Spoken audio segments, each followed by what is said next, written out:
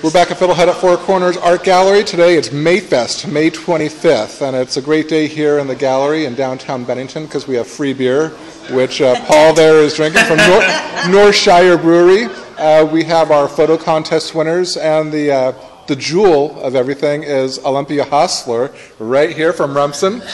She's an award-winning acrylic painter, and uh, for the last 15 minutes, Paul here, who used to be a journalist in D.C., has been talking with Olympia about her work.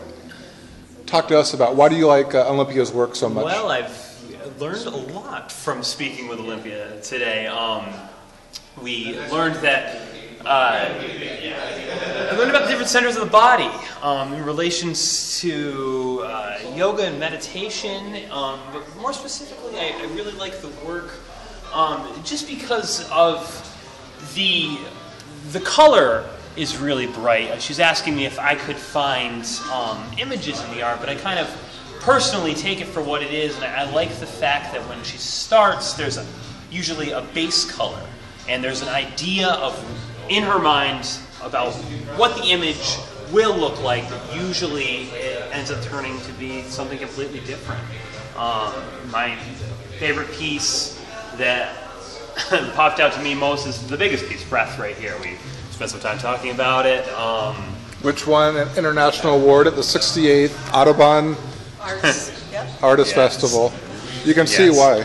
Yeah, Just beautiful Um, stuff. It's just it's it's bright. It's passionate. It's a really beautiful piece. Yeah. So what do you see? She asked you about what you saw in there. I said, I see the boar. This is what it's. A here's the boar. Here's the boar's head. Here's the boar's eye. Here's the body.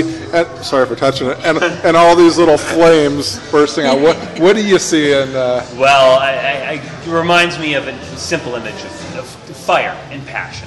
Um, I, I, I don't. I can't say that I get a specific um, graphical representation of anything other than the idea and emotion behind the colors within the piece. That's what I personally get out of it. is uh, this something you would buy uh, one day for your home, or is it just Man, I more would- I more would have pretty to to- look at? I would have to whew, um, get a good tax return. to Right. Some of those things. It's coming, it's on the way. Yeah, yeah, yeah. Many, many, many years from now. Do you have any advice for uh, people who appreciate art and painting and acrylic painting in this form uh, about coming down to Fiddlehead and checking it out? Because she's going to hang here. She's been here for two months, Well- but she's brought eight more pieces today, including these here. but what would you say to people who appreciate art? Uh, what I would say is be, be even beyond the work that we're looking at right now. Um, I, I consider I used to consider myself as like an ambassador of Bennington and its arts community and its beer community, and I, I love I love Vermont. I think when people look at Southern Vermont, they often get the wrong images because they might think of you know Northern Vermont as being a little better or not. But we have a vibrant arts culture along with the Bennington College and arts artists around all this area, whether it be music or physical pieces or sculpture.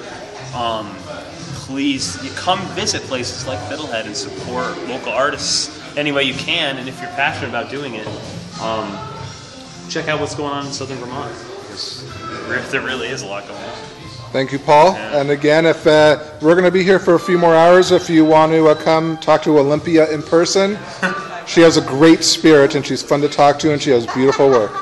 Talk to you soon.